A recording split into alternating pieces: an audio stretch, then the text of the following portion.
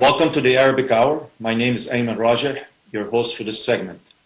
With me today is Jeff Klein, who isn't a stranger to the Arabic Hour. Jeff, welcome. Thank you. Glad to be here. Today we'll be talking about Syria, uh, be it the uh, 10th anniversary of, uh, of the conflict. Um, let me uh, first ask you what took you to Syria? What got you interested and uh, got you involved in this conflict?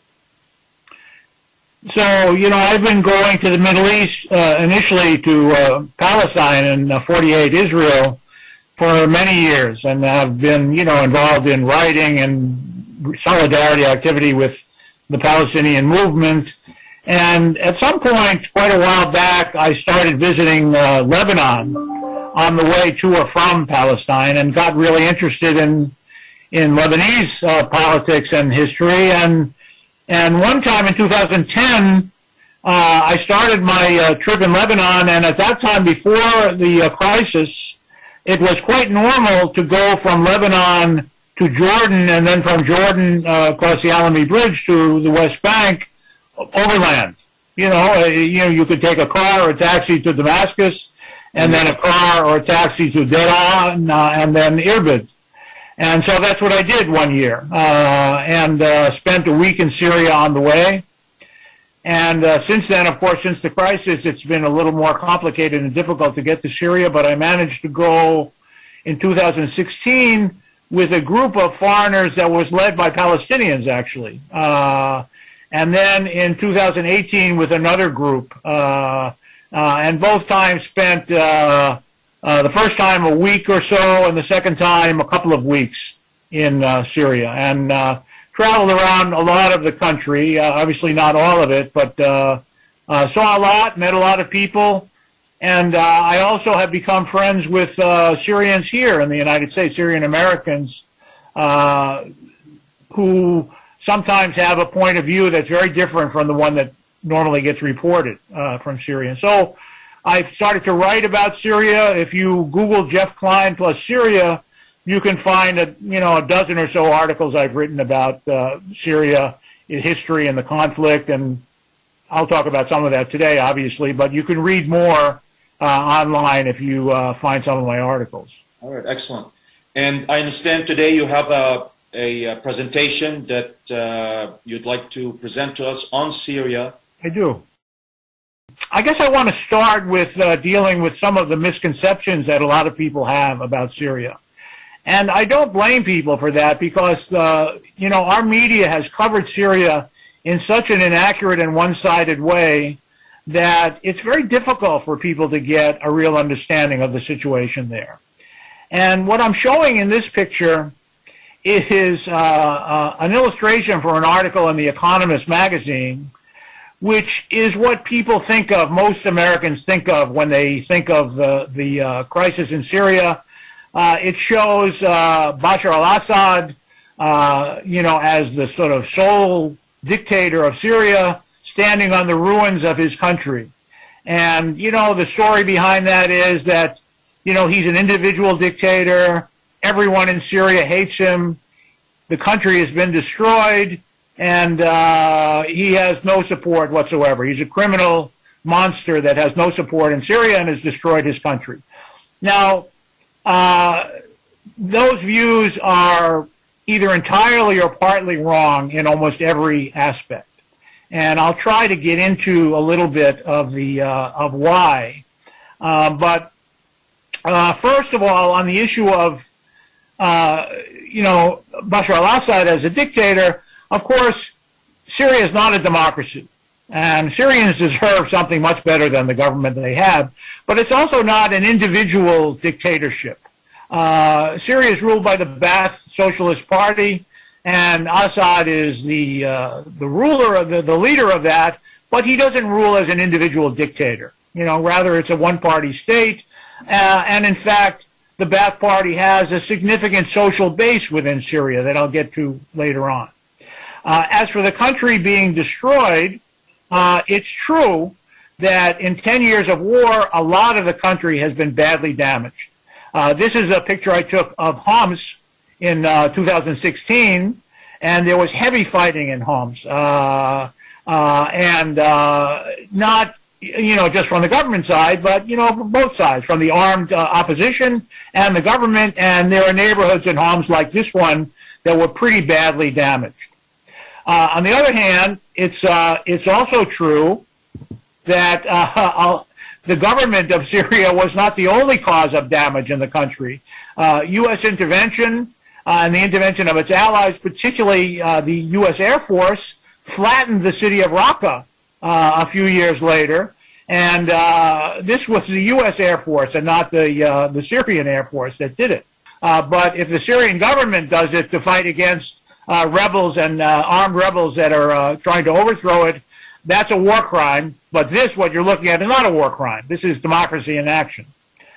the reality is that lots of uh, Syria is uh, is relatively intact, and even uh, some Syrians in the United States and others who are really interested have this idea, for example, that Aleppo was destroyed by Assad.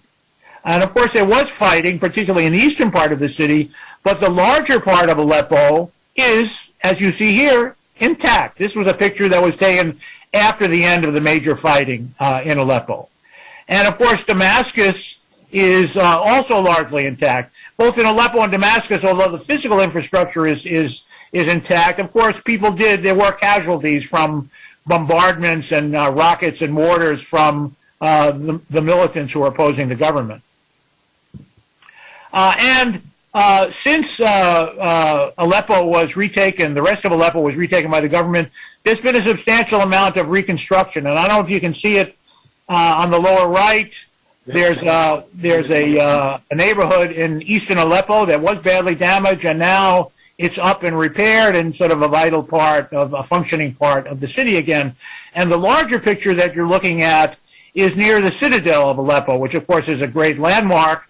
And when I was there in 2018, uh, the cafes uh, and restaurants that are around the citadel, which were very popular before the, the crisis, are now peopled again. They're they're reopened. People by families and you know drinking tea, coffee, uh, uh, shisha, and uh, you know the city is being rebuilt and coming to life. Even the parts that were badly damaged.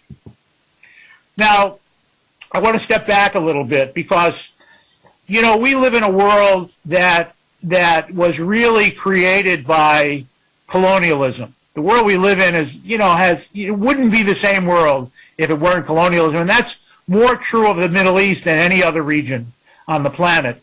And I want to remind the viewers, sometimes the, uh, the residue of colonialism is in plain sight, but we don't notice it.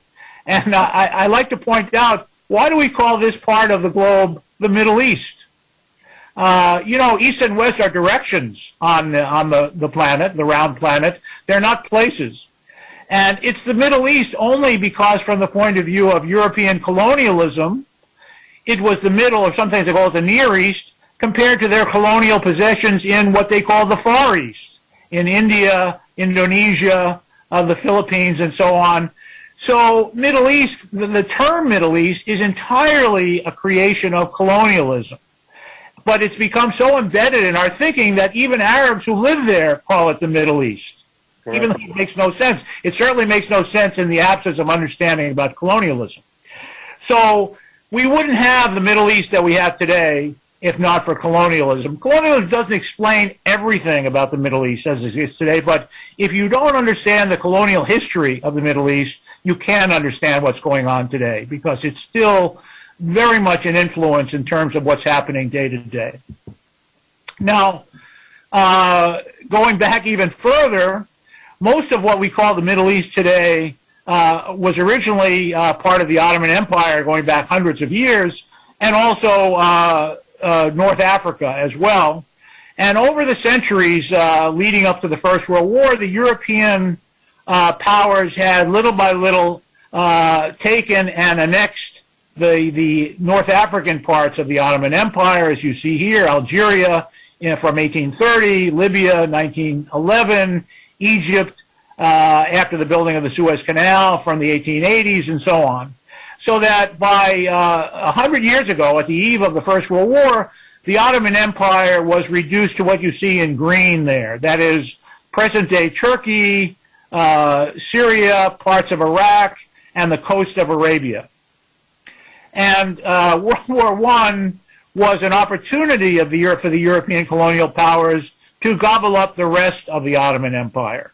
Particularly the British were concerned because uh, if you uh, look here, the Suez Canal, uh, Ottoman control of the coast of Arabia was regarded as uh, somewhat threatening to their route to the Far East, to India and the Far East. So it was very strategic, and uh, they understood and had planned that when they, when uh, the Ottoman Empire entered the war, the First World War, assuming the Allies won, that they would carve it up. It was very uh, clear from the beginning. Now, the early, uh, the first year or so of the war uh, in the East, in the Middle East, didn't go very well for the British, and they were looking for allies. And the ally that they settled on uh, was uh, Sharif Hussein, the ruler of Mecca, who, in exchange for a promise from the British to set up an independent Arab state in the Arab-speaking parts of the Ottoman Empire, agreed to uh, launch a revolt against uh, the Ottomans, uh, allied with the British. Uh, and he was promised in return that most of the former Ottoman territories would be under a new independent Arab state. Meanwhile, though, in secret, the British and the French uh, made their own deal uh, to divide up in spheres of influence uh, the Ottoman territories, the Arabic-speaking Ottoman territories, in the famous Sykes-Picot Agreement, which people are starting to know about now. But you know, before the 21st century, very few people, uh, especially non-Arabs, knew anything about this. It was a secret agreement in uh, in 1915 and 16, uh, secret from the Arabs who were supposed to be independent. That said, no, they're not going to be independent they're going to be divided up in spheres of influence between the, between the French and the British, and what became Palestine uh, was going to be jointly ruled by the European powers. This was the Sykes-Picot, the Holy Land was going to be jointly ruled. This was the Sykes-Picot Agreement, uh, which again promised uh, a different solution to the uh, the Arabic uh, lands of uh, the Ottoman Empire. And meanwhile, in 1917, the British had promised Palestine to the Zionist movement, so that Palestine was promised three times, in effect. It was, it was supposed to be part of an Arab state, then it was supposed to be internationally ruled by the European powers, and finally it was promised to the Zionists. All of this uh, denied the agreement that the British had made with the Arabs, which was to give them independence in return for their uprising. And at the end of the First World War, the British and French uh, informally uh, renegotiated the Sykes-Picot agreement uh, because the Russians that were originally part of it were out of the picture. Uh, they took the uh, opportunity to redivide it themselves, and uh, sometimes truth is stranger than fiction. The British Prime Minister Lloyd George and the French Prime Minister Clemenceau had a little stroll in the garden of the French embassy in London and had this conversation in which Clemenceau asked, "What do you want?" And Lloyd George said Mosul. Mosul was originally going to be part of the French uh, sphere of influence, but there was oil in Mosul, and the British wanted it. And Clemenceau said, okay. And then he said, what else do you want? And the British said, Palestine. And Clemenceau said, okay, too. And this is the way the Middle East was divided up. Uh, and I mean, it's it's it's incredible that this could this could happen. And by the way, by this time, the U.S. had entered the war supposedly uh, to make the world safe for democracy. Yeah, of course. It's always, it's always, it's always, that's always been the, uh, let's keep the world safe for democracy. We have to go and help these people become yes. more democratic. And that's still going on. And in those days, democracy, it wasn't said, but it was understood that democracy was for white Americans and Europeans, uh, not for colonial people. And in fact, in all the vast colonial holdings of the British and French primarily, not a single one of them became independent after the First World War. Many of them had to fight very hard for independence after the Second World War, a generation later. So uh, World War I was fought to make the world safe for colonialism, not to make the world safe for democracy. Absolutely, well put. So meanwhile, uh, the, the family of Sharif Hussein and his sons, believing in the British promises, uh, after the Ottomans were kicked out of Syria, went to Damascus, and he was declared king of Syria. This is Faisal, the son of, uh, of uh, Hussein. And uh, the nationalist movement, which was based in Damascus and Aleppo, uh, nominated him as king of Syria, uh, but he only ruled for a few months. The French marched in and kicked him out.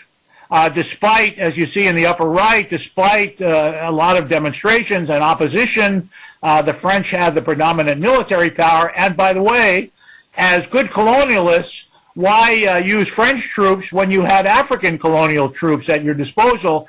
And those are the troops that actually conquered Syria in 1920 and 21. It was uh, mostly Senegalese led by uh, European, French European officers. Correct, and and and that's uh, that's a fact that uh, very very few people uh, uh, know about. Yeah, so French. It wasn't actually white French men that were fighting. That's right. That's right. You know, whenever possible, uh, the colonial powers tried to rule. not using their own troops, but native troops or colonial troops, and of course the British really perfected that model in India.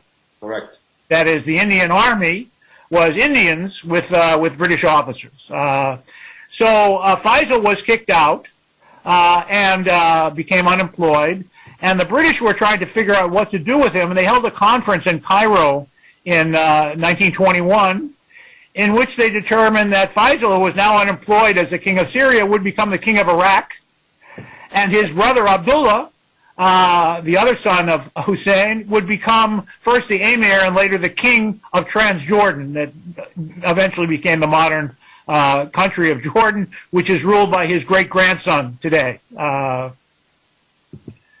now, so if we look at the map of the Middle East, you can see that it very closely followed the Sykes-Picot spheres of influence. Uh, and uh, as the countries became independent eventually, uh, some not until the 50s uh, or even later. Uh, it follows the map that was created by the colonial powers. And that's why uh, we see the borders that we see today, even though everyone understood at the time and in the world that Syria was not the small Syria that exists today. It was Bilad Sham, uh, that included most of what we call the Levant today. That is uh, Syria, Lebanon, part of Turkey, Palestine, and part of Egypt. That was what was understood as Syria. So even on maps on the left is a map of Syria from a U.S. atlas from the 1850s that shows Syria, including the entire Levant. Uh, instead of independence in that form, which would have been a major uh, country with lots of resources, uh, what had been one cultural geographical area was divided up into a half a dozen countries. Palestine, Jordan, Lebanon, part of it went to Iraq, part of it went to Turkey, and so on. Uh, so modern day Syria is just a fragment of what would have been an independent Arab state along the whole Levant. And so this is the French mandate of Syria after the part uh, on the east that was given to the British. Uh, and uh, they also understood that even in this smaller Syria, it was beneficial, as it always is to the colonial powers, to divide and rule. That is, the danger uh, to the colonists, colonialists is, you know, a, a unified national movement. So they divided up the Syrian mandate. They gave part of it to be an independent Greater Lebanon here. They eventually gave part of it to Turkey as a deal on the eve of the Second World War to sort of placate them. And then the rest they divided up. The, the heartland of Syrian nationalism were the big cities, the Sunni cities, mostly Sunni then, cities of Aleppo and Damascus. They divided them into two different states, two different countries in effect. And they set up an Alawite state here along the coast and a Druze state uh, in the southern part of Syria again, a way of dividing people up and uh, pitting one part of the colonized people against another. And this had uh, important repercussions that exist today because from the French point of view, the uh, the Sunni urban Sunnis were the you know the most danger of nationalism. Uh, the Syrians promoted the Alawites and the Druze as a sort of counterweight, as rural people counterweight to the uh, to the uh, Sunni urban people, and therefore made strenuous efforts to recruit them into the colonial army. And that's why the Assad family and uh, a lot of their relatives who are of Alawite uh, origin came to be professional soldiers under the French mandate and then afterwards. And that's part of what set the stage for uh, the rule by Hafiz al-Assad and his son Bashar, uh, because they had military support and they had military experience. So just to remind everybody, this colonialism is not ancient history, even though the events I was talking about are about a century old. Uh, the British Empire, upon which the sun never set, as they like to say, has been replaced by the U.S. global empire. And uh, it's quite remarkable. The U.S. empire is not an empire of direct colonies like the British was. It's an empire of military control and bases. And it's quite remarkable. If you look here in the upper left, the entire planet has been divided up by the Americans into military commands. Uh, and the one that's in charge of the Middle East is called Central Command or CENTCOM. And ironically, uh, of course, the Middle East is pretty far from the United States. The headquarters of CENTCOM is in Tampa, Florida, 7,500 miles away from the Middle East. But there are U.S. bases throughout the uh, the region, and it's safe to say, if you look at this map, by the way, Turkey is not in the Central Command because as a NATO country, it's part of Europe, quote unquote, and therefore it's part of the European Command. Uh, but it, on this map, there's U.S. military involvement in every single country in the Middle East. Sometimes it's bases, sometimes it's uh, giving or selling arms, training, uh, you know, uh, uh, all kinds of bilateral agreements. So the U.S. has a military presence everywhere directly in the Middle East, with the exception of Iran. And hopefully that uh, is not just temporary. Uh, so, so the Middle East today is not ruled by, in effect, by the British and the French as it was 100 years ago. It's ruled by the U.S. and its clients. And, and as we talk about Syria, uh, you know, I'll you know, get specific. Just to be clear, the U.S. claims to be supporting democracy in Syria, but its allies in the Middle East are not democracies. None of them are. Uh, and before we overthrow a government like the one in Syria that we don't like, it might be prudent to at least stop supporting the dictatorships in the other countries in the Middle East that we uh, that we sell weapons or give, in the case of Israel, give weapons to. So the whole democracy stance of the U.S. in the Middle East is pretty fake. You know, I mean, anyone who thinks twice about it will know that it's just not legitimate. It's just an excuse. And by the way, after the uh, the initial success of the Iraq uh, invasion in 2003, the Americans, like their European predecessors, began thinking about rearranging the map of the Middle East. And there was a whole series of proposals and and and and position papers to create a Kurdish state and divide up uh, Iraq and Saudi Arabia and so on. And this is one version that was floated around uh, uh, in those years after 2003 before the Iraq invasion got to be a lot more complicated than the U.S. had expected. So this is what colonial powers do, right? They rewrite the map. And uh, the Americans, uh, or at least some Americans, are still trying to rewrite the map by supporting uh, Kurdish independence or autonomy on, in Syria. Well, the, the old adage always works, right? Divide and, uh, and you That's right, divide and rule. Yeah. And by the way, this history is one reason why uh, Syrians of almost every political view are adamantly uh, opposed to any effort to sort of redraw the borders or divide up their country. Uh, because they have experienced this in their history. And whatever the, you know, the, you know, the, the, the failings of uh, the Syrian state as it has been, they recognize that dividing up the country at the, at the insistence of the imperial powers is not something they want to see again. Well, and they've seen examples. I mean, yes. uh, Iraq next door, uh, Libya, uh, you know, so many examples where what happened in these uh, countries to bring democracy and to make it a democratic state became a, uh, to say the least, a total nightmare for Yeah. everybody and anybody living in, in those countries. So I hope anyone watching this will at least understand that whatever the U.S. is trying to do in Syria, it doesn't have much to do with democracy. Uh, and that's really an important point.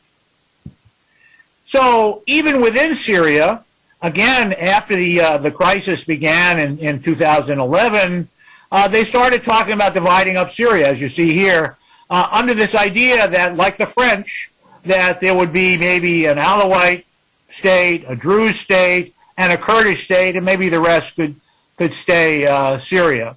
And as I said, Syrians of all political opinions are opposed to anything like this. And not only that, it's completely impractical. Uh, Syria, like the rest of the Middle East, is an ethnic mosaic. There's no part of Syria that's ethnically purely one group or another. Uh, Syrians are uh, almost all Arabic speakers. Kurd, for Kurds, it's sometimes their second language. But among the Arabic speakers, there are Sunni Muslims, Shia Muslims, Alawites, Druze, Christians of many, many different sects. And, uh, and, and there's no area of Syria, including what we call Kurdistan today, where, you know, there's a homogeneous uh, majority of one group or another. So it would be impossible to divide up Syria or any other part of the Middle East unless you have the idea of ethnically cleansing and create and moving people around uh, to to make it pure. So there's no dividing up Syria uh, without you know tremendous hardship. Although imperialists sometimes like to make maps and you know fantasize about this stuff. Well, it's it's interesting that uh, we continuously uh, uh, talk about uh, division when it comes to right. the Middle East, and and and we break it down into uh, small, uh, you know, minorities, and then uh, within the minority, we we break it down to even smaller segments of society. And some of uh, you viewers will know that it's always been Israeli policy to fragment uh, Arab states around it, uh, particularly by supporting ethnic or religious minorities. They did that in Lebanon with the Maronite Christians. Uh, they have very close relationship with the Kurds in Iraq and uh, and in uh, uh, Syria. And this is the idea of fragmenting these states into sort of small, competing ethnic uh, enclaves, which benefits the major powers. Would benefit Israel and certainly benefits America and the European powers that want the Middle East to be weak and dependent. by the way, as a symbol of the sort of multi-ethnic, multi-religious character of Syria, uh, you can't get a better uh, view of that than in the old city of Damascus, uh, where you have churches. There are supposed to be 14 different Christian uh, churches in uh, in Syria. You know, Greek Orthodox, Latin, Armenian, and so on. And in the old city, you can see churches of every denomination right next to mosques. you know, Muslim mosques next door. And historically, for the most part, uh, there was not a high tension between uh, you know the different religious confessions, especially in modern times when Syrian sort of nationality became you know the umbrella on which they all functioned. So Syria is and was a multi-ethnic uh, country, especially in the cities, especially in the urban areas. So the U.S. has long had Syria in its uh, in its uh, gun sights for a variety of reasons. Some of you will remember during the Cold War, Syria was uh, an ally of the Soviet Union and has remained an ally of uh, the Russians since the end of the Cold War. Uh, and uh, despite uh, on and off again attempts to come to some kind of agreement with Syria, it was always going to be impossible so long as Israel occupied part of Syria. And the U.S. was never going to pressure Israel to give up the part of Syria and the Golan Heights that it occupied. So since 2007, it's pretty well established that the U.S. had a strategic plan following the invasion of Iraq that Syria was the next target. And uh, there's lots of documents that have come through that the U.S. made a commitment to overthrow the state in Syria and to try to install a puppet regime as they attempted to do in Iraq. And the beginning of the Arab revolt the, the Arab Spring in 2010, 2011 gave a kind of entry for them to try to apply this policy. Uh, some of you are familiar. I mean, obviously, all the authoritarian regimes in the Arab world uh, were oppressive, sometimes corrupt, and the movement that started in North Africa and Tunisia uh, and uh, and Egypt uh, to try to have democratic change was frustrated in those places. But the U.S. thought they could use that sentiment within Syria to basically crush and crush the country and have regime change. And in Syria, there was another factor that didn't exist elsewhere, which I think is important to point out. Uh, Syria underwent a very severe drought in uh, 2006, 7, and 8. Uh, and it's shown on these maps, the areas that are brown uh, were the parts of Syria that were hit badly by a drought. So there was a lot of disturbance within Syria, a lot of rural people whose farms became unworkable because of the climate change moved to the cities, the big cities, and lived in, you know, relatively impoverished uh, outlying neighborhoods around the big cities in slums, essentially, and were, you know, pretty impoverished and were uh, vulnerable to influence by uh, extremist uh, uh, Sunni uh, Saudi Arabian financed clerics who were organizing them and agitating them against against the government of Syria and against the idea of Syria as a multi-ethnic secular state.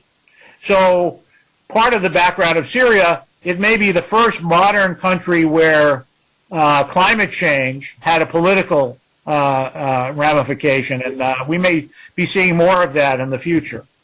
So most of you know, people have this idea that uh, you know peaceful protests broke out in 2000, early 2011 against the government. Um, that supposedly, in our narrative, they wanted a sort of secular democratic Syria. Uh, and in fact, uh, this was only part of the story. Uh, there was a sectarian, Sunni, and extremist uh, element to the opposition to the government right from the start. Uh, and uh, also, if not at the very, very beginning, very soon it became armed.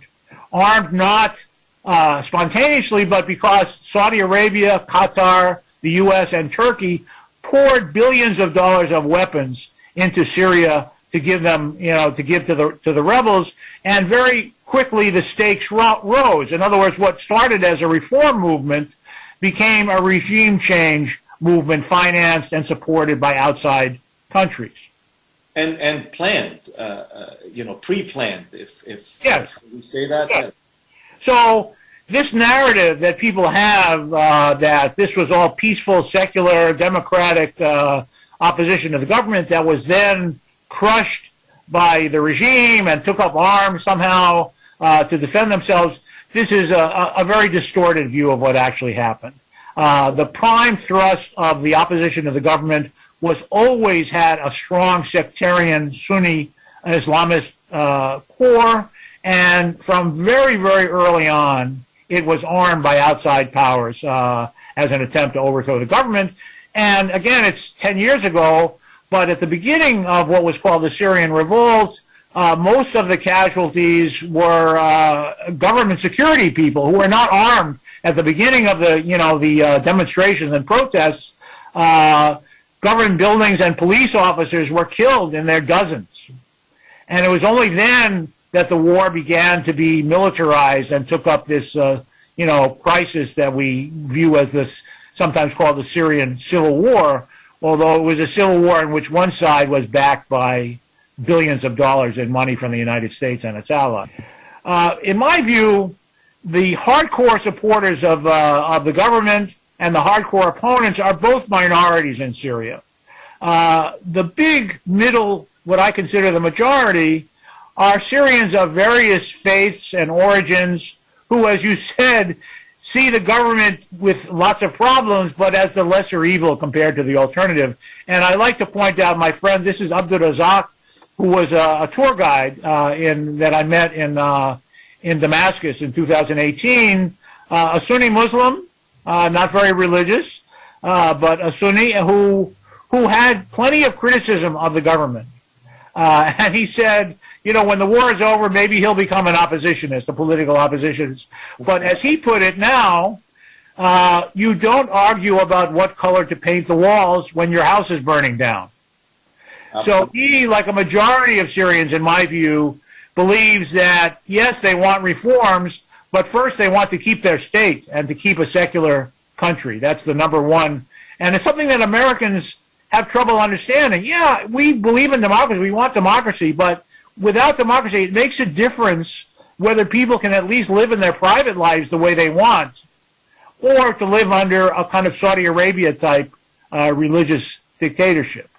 Uh, so, so in my view, this is this view is the the one that ma- the majority of Syrians hold. That is, uh, they want reforms, uh, but uh, first the war has to be won, and there has to be peace, and then they'll push for reforms.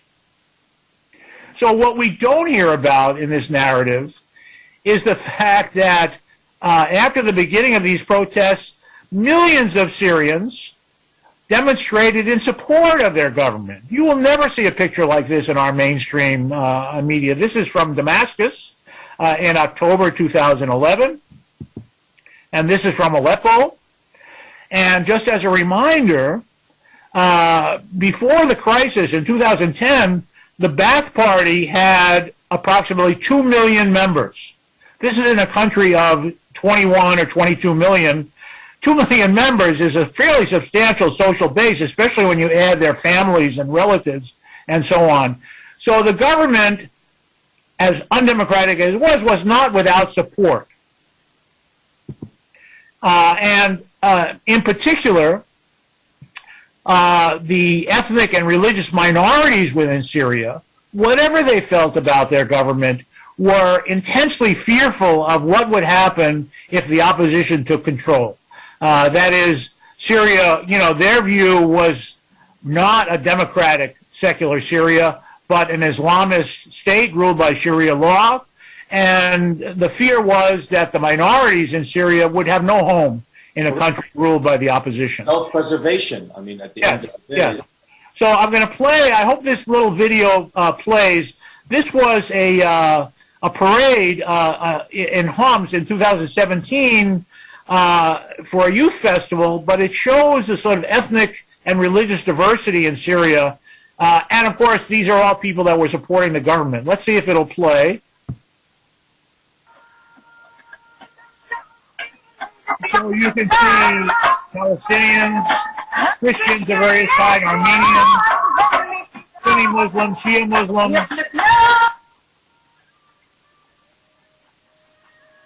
People who are nominally Muslim but secular.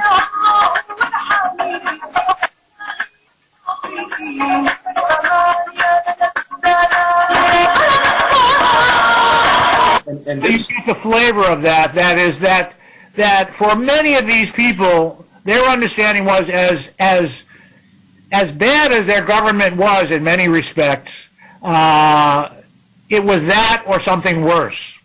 Right. and uh, and uh, and that explains why the government didn't fall because there was a strong residue of support for it, or at least fear of the alternative. Well, uh, well-founded fear, by the way. Correct, and and and that's the that's the biggest issue, is uh, uh, all these people would love to have a secular country with with democracy and, right. and all the institutions that come with that and all that, but at the end of the day, everybody knew from day one, whoever is going to replace the current uh, uh government is going to be absolutely worse right. than than what it is. So I'd rather keep the the the you know the government as it is uh, in their thoughts than than have to deal with this. Especially again, uh, uh, mention uh, people saw what happened in Iraq and and and uh, in Libya when there was regime change. And and by the way, in response to the uh, beginning of the protests in 2011, the government did institute significant reforms ending the state of emergency, ending the uh, exclusive right of the Ba'ath Party to organize, giving Kurdish uh, uh, population citizenship rights, which some of them did not have, and so on. So there was a reform in response to it, but reform wasn't what the opponents were looking for. They were looking to overthrow the state and institute a religious regime, a kind of extremist religious regime. And in fact, among most of the uh, armed opposition groups, democracy was considered sinful. They were not supporting democracy. There are more Syrian democratic supporters today in New York and Washington, D.C. than there are in Syria itself. And, and I'll submit to you that, that uh, uh, if, if they had won, if the, this, this quote unquote opposition had won, uh, it would have been the de facto uh, uh, disintegration of the country. Here's another aspect that people are confused about. There are an estimated five or six million external refugees uh, fleeing Syria. And the idea that's promulgated here is that all of them are opposed to the government and were fleeing the government. In fact, there were a variety of reasons why people left. For the most part, it was fleeing the war, which people do uh, and uh, sometimes seeking a better life and so on. And uh, you know, not all of them are uh, are you know opposed to the government, and we saw that in 2014. Again, this goes down the memory hole, right? In 2014, when presidential elections were held, uh, thousands of uh, Syrian refugees lined up in Beirut and Amman to vote and many of them uh, vocally supporting of Bashar al-Assad uh, for president. So this idea that all the refugees are, you know, somehow opposed to the government is another one of those uh, things that are just not uh, not correct. So the opposition uh, understood, you know, once it was clear that the Syrian state was going to survive, their only hope for regime change was outside uh, intervention, direct outside intervention. That is not only supplying money and arms, but an invasion. And their model for this was Libya. Uh, uh in 2011, uh, the U.S. and France, uh, in the name of NATO, uh, basically served as the air force in Libya to overthrow Gaddafi. And you may remember, of course, he was overthrown and then murdered. and the the armed opposition in Syria were hopeful that this would happen in their country too, especially after Barack Obama had said in the summer of 2011 that Assad had to go. Uh, a lot of the Syrian opposition believed the bombers would follow soon and bomb Assad out of power. And you can see in this picture, this is one uh, town held by the rebels then, uh, in which they're basically begging for NATO to come and bomb their country. And down below, you can see a picture on the right uh, a caricature of Gaddafi and one of Assad.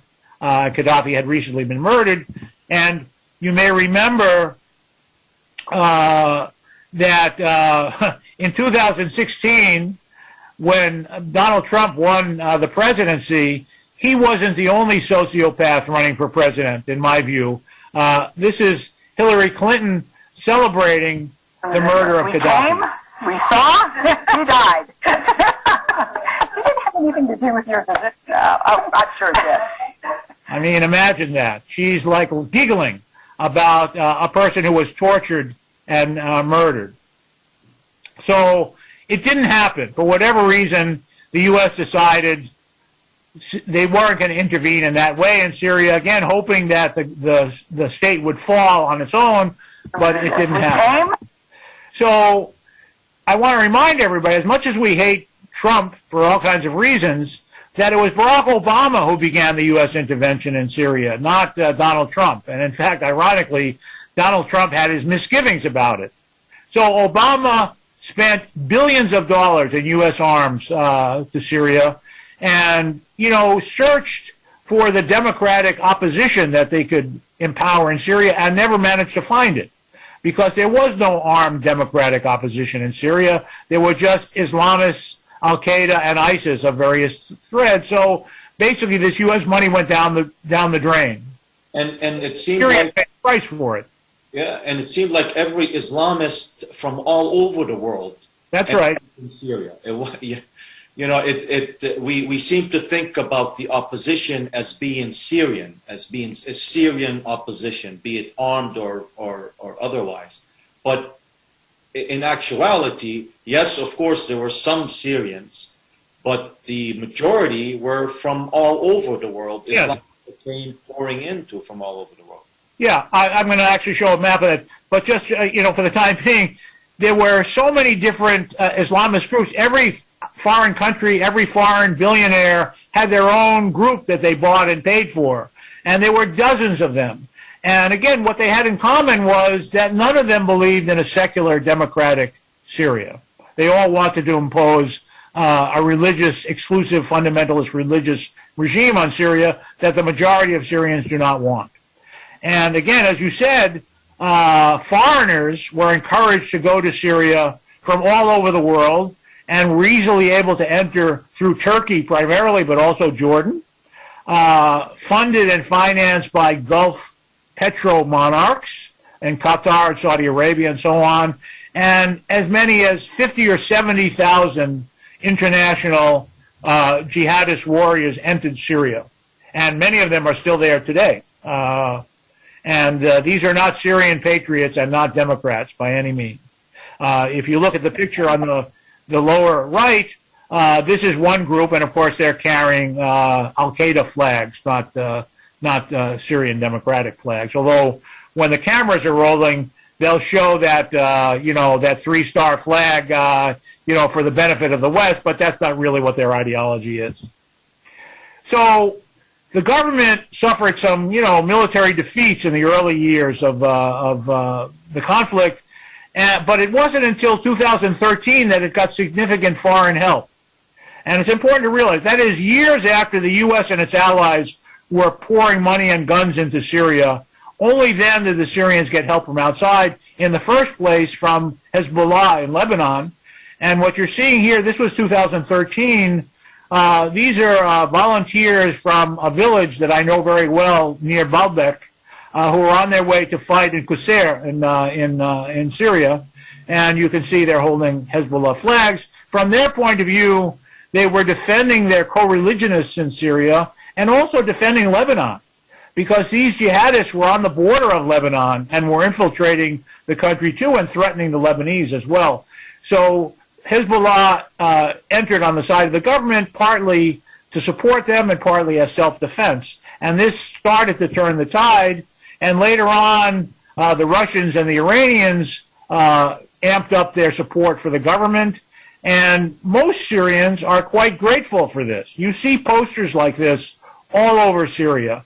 And uh, for those of you who can't tell from the left, it's Hassan Nasrallah, the, the head of uh, Hezbollah and Rouhani, the uh, the president of uh, of Iran, Assad, and then and then uh, Vladimir Putin on the right, who, uh, especially for the Christians in Syria, is regarded as the person that saved their saved the, you know the existence of their communities.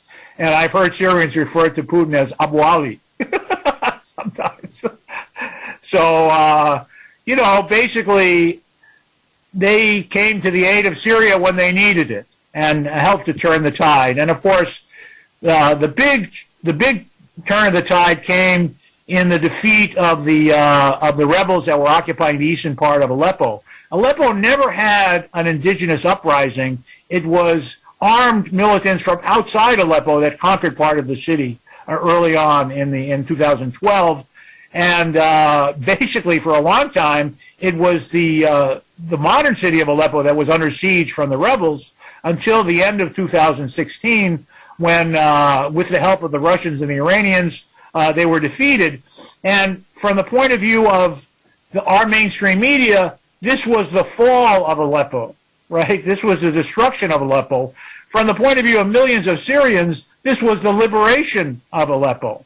And uh, I'm going to play a little bit of a clip here. Now, obviously, this is a pro-government, you know, uh, video, but you have to believe your eyes. People are out in the streets of Aleppo celebrating. This was just before Christmas in 2016. And of course, Aleppo is a multicultural city.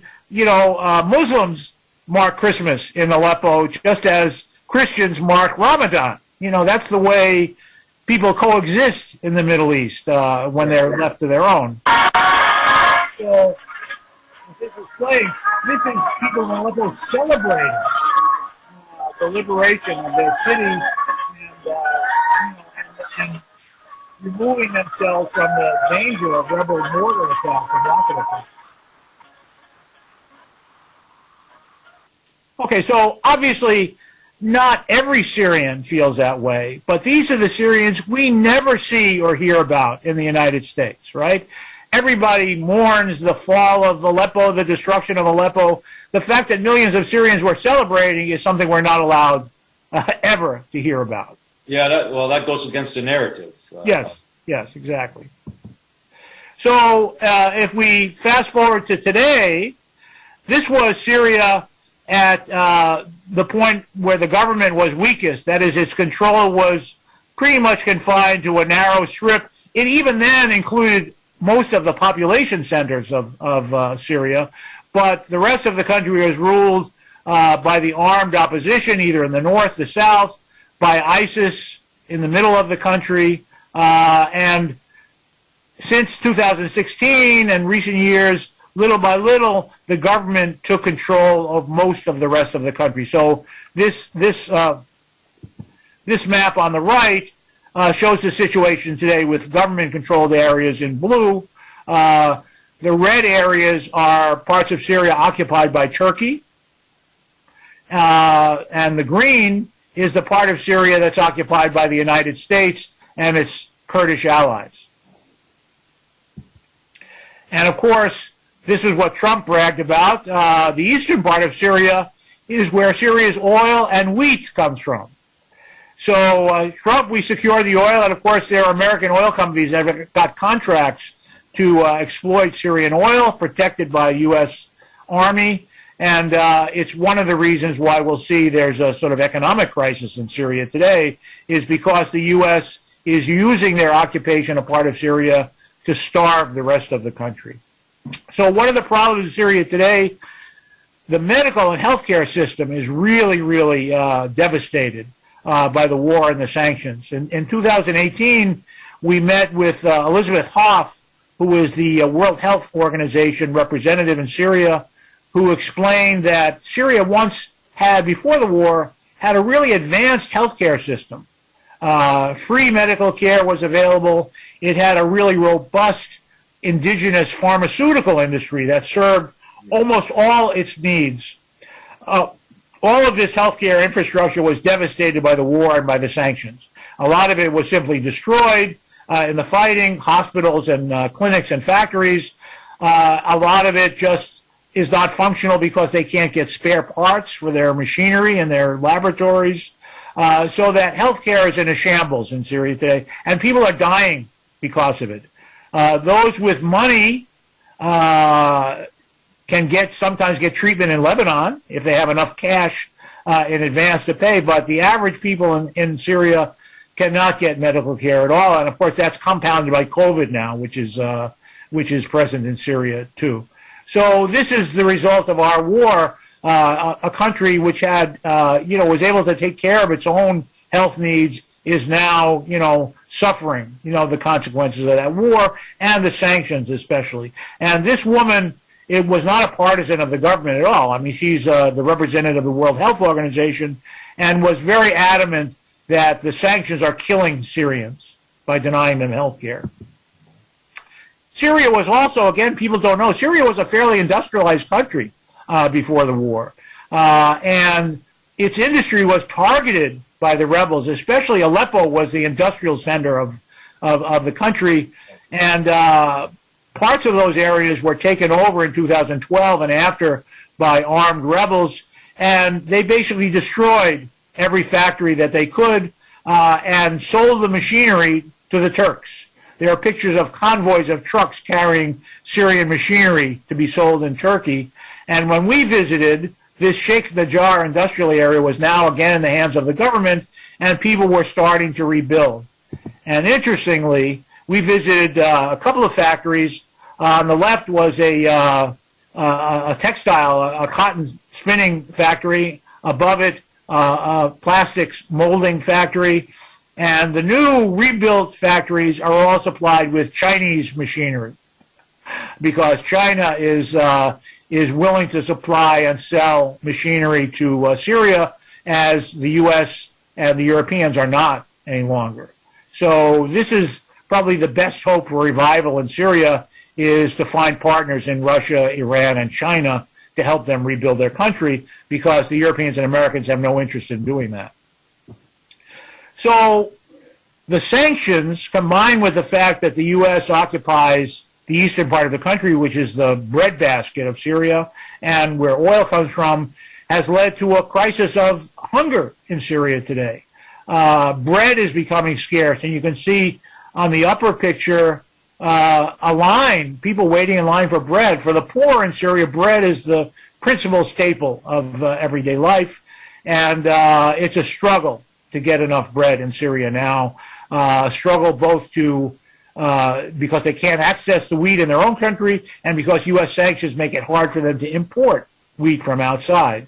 So the U.S. is imposing hunger on Syria, and also uh, because Syria can't access its own petroleum, uh, uh, you know, resources. Uh, there's a shortage of gasoline, and even even more difficult, fuel for its power plants and for heating. Again, people who are not familiar with the Middle East think it's always hot, but winters are cold in Syria, and people are freezing because they can't get heating oil uh, to to uh, heat their uh, their houses and apartments, and of course can't get gasoline and electricity is sometimes only an hour or two a day in different places, as is kind of rolling blackouts. Uh, this is due to damage to the electrical infrastructure and the fact that they can't get oil. And when the Iranians are trying to bring oil to Syria, the, the only you know country willing to break the uh, U.S. embargo, uh, their uh, oil tankers have been very frequently attacked and sabotaged by the Israelis as they're uh, sailing on the way to uh, to Syria. So this happens frequently, frequently enough. I just want to end by uh, with a couple of pictures that from 2016 that to me illustrate what's at stake in Syria for the Syrians and for people who care about the Syrians. You know, we had a delegation. You can see here the man in the middle, the tall guy in the middle, is the governor of Homs province that we met with. And you know, some of you traveled. You know, these meetings. You know, sometimes they're interesting, but basically, it's you know, sort of propaganda, kind of you know, yawn uh, it was nice to hear his point of view, but inadvertently, we had a different view that was much more informative. After the meeting with the governor, he invited us next door to the theater, next to the city hall. And pretty amazingly, in the middle of the war, this was a meeting uh, to promulgate better care and, and less discrimination against people with learning disabilities in Syria. Some of you may know in the Arab world, they haven't always treated people with learning disabilities or physical disabilities so well. You know, they're a little bit stigmatized. And the government of Syria uh, was trying to promote better views toward, uh, you know, treating disabled people. And they were holding this meeting to educate people about kids with Down syndrome, uh, who, you know, should, should be treated you know, humanely and, you know, given opportunities to be in society and learn. And it was very touching. At one point on the stage were these kids and their mothers. You know, really, I'm almost uh, coming to tears just remembering it now. Uh, it was very touching. And this is the good part of Syria that we never hear about. And this is the part of Syria that these rebels want to destroy. Yeah, and, and, it's and we're helping them it's amazing to me now seeing this that they actually made the time and put the effort. That's right. This when they have a million and one other thing. That's uh, right. That's right. It was very moving, and of course, you know, if anyone suspects, this was not put on for our benefit. This is something that you know, as you saw, had you know a lot of an auditorium filled with people, and it was just a coincidence that it happened to be going on when we were visiting. And you know, so this is this is a little bit of a hint of what Syria could be if they were left to uh, live in peace and develop on their own. And nearby, we visited the ruins of, uh, uh, of a uh, Catholic church in, in Homs that was, had been destroyed by the rebels and was being rebuilt. And just opposite the church was a newly opened cafe in which young men and young women were meeting together and socializing, uh, something that is unimaginable in the so-called rebel-held areas of Syria. Correct. Uh, and and uh, And I want to end with this because this was on the wall of that cafe. Uh, and the picture on the right is uh, uh, schoolgirls on their way to school that we happen to pass. And on the wall of this cafe was this very touching uh, uh, thing. This was the English version. Uh, in this neighborhood, we suffered. We went through difficult times. We fled our homes. Today, we may still suffer difficult times, but we are holding on to our land, believing the sun will rise again, promising ourselves to go always, and then in Arabic, forward. Uh, so this is the hope for Syria, and uh, you know this is the Syria that we should be supporting, that people of goodwill should be supporting, and wishing them peace and the ability to have a better and reformed government, which will only be possible if the war is over. Frankly, they won't. It's impossible to have meaningful reforms while the government is fighting for its life against foreign intervention. It's no longer a a military problem only, or or a, or a, you know just war, but now uh, the war is is these sanctions and uh, people desperate uh, for food. And and I'll let you answer this. Uh, I have my own feelings on this, but I, I think that this is uh, part of the equation. In that, if we get enough people hungry, maybe that uh, those people will rise up and say, you know what, if we get rid of you, then maybe we can eat again. Yes, yes. So this is the hope uh, of uh, the interventionists and the U.S. government. Uh, it's not working so far, and I hope the Syrians will manage to uh, survive. They are little by little rebuilding parts of their country, but it's very difficult for them. And of course, a lot of Syrians have left. Uh, there's a kind of brain drain. The ones who have the means to leave, uh, many of them have done so, living in the United States and elsewhere. And by the way, it's very common uh, to quote, you know, people speaking for the Syrians here, you know, Syrian Americans or Syrians. And of course, you know, that means only speaking for some of the Syrians. Uh, many Syrians here who have left for the benefit of their families uh, have no uh, illusions about the democratic nature of those who want to overthrow the Syrian state, but they're intimidated. You know, if you're a Syrian that comes here and you're looking for citizenship, you're not going to say, I love Bashar al-Assad. Uh, everyone who comes here understands that their ticket for staying, staying in the United States is, you know, long live democracy, down with Assad, whatever they may believe privately. But so those are the only people we hear from, and the Syrians who have a different point of view are kind of keeping their heads down because it's a, you know, it's a, it's a dangerous view to hold in the United States. And the, the Syrians who pretend to talk for the Syrians, many organizations are deeply, deeply funded by the U.S. and other governments. The Syrian American Medical Society, the Syrian Emergency Task Force. There's a whole alphabet soup of supposedly pro-democratic Syrian organizations in the United States that get millions of dollars in funding.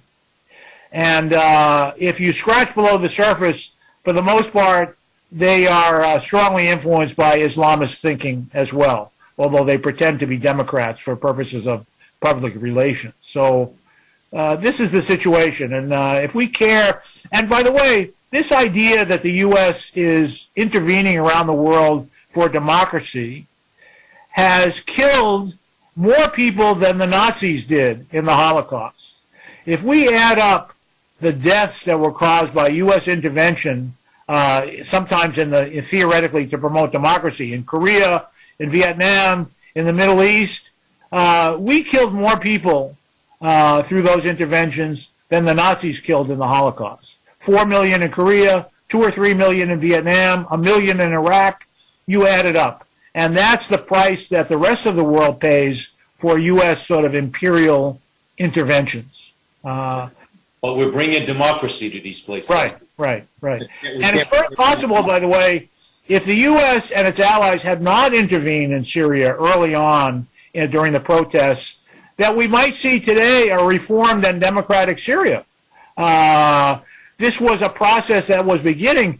And anyway, we certainly know for sure the worst case scenario would have been that the government clamped down on the opposition and kept its dictatorship but hundreds of thousands of Syrians would be alive today who aren't. You know, the price that Syrians have paid for the U.S. and foreign intervention in their country is no change, but hundreds of thousands of people dead. And and they're still paying that price today. And I think uh, today their their situation is even worse than it was uh, a few years ago. Yes. Uh, because sanctions have been proven over the years to be one of the most uh, uh, or, or the best weapon against countries like that because Right, right. uh, uh, you suffocate them. You literally suffocate them uh, uh, slowly, uh, but you eventually do suffocate them. So we, you know, I work with Massachusetts Peace Action. We oppose uh, sanctions and interventions by the U.S. no matter what the pretense is, because the experience shows that sanctions uh, make ordinary people suffer and don't are not effective in bringing democracy, even if that was the the purpose of it, which generally speaking it's not. And intervention, however bad a country may be, when the U.S. intervenes, it becomes worse. In Syria, uh, because of uh, the U.S. and its allies funding these these armed oppositionists, many more Syrians were killed than had ever suffered at the hands of the government, as bad as it may have been. So we're opposed, absolutely opposed. If we want democracy, let's start with Saudi Arabia, is what we say. If we want democracy, let's stop selling billions of dollars worth of arms to Saudi Arabia, United Arab Republic, Egypt, and Israel. That wouldn't kill people. It would just take the weapons out of the hands of dictatorships. And uh, if we want to show our, our well-meaning of democracy, let's start there. I think that's that's the, the place to go. Absolutely, absolutely. Well, uh, Jeff, thank you very, very much uh, for being with us today. Uh, this was definitely informative, and uh, we greatly appreciate your time and efforts. And uh, we hope to have you back on. I mean, there's so much to talk about Syria, but uh, uh, we'll leave it here for now. And again, thank you very much for being with us. Thank you, and I'm sorry to go on so long. There's a lot of information that people lack about Syria, so apologies if I've taken a long time. But Please uh, don't don't apologize. It was definitely informative, and and hopefully our audience finds it uh, uh, that way as well. well, thank you. I'm happy to be here and happy to come back if you want. All right, fantastic. We'll definitely have you on. Thank you very much, Jeff. Thank you.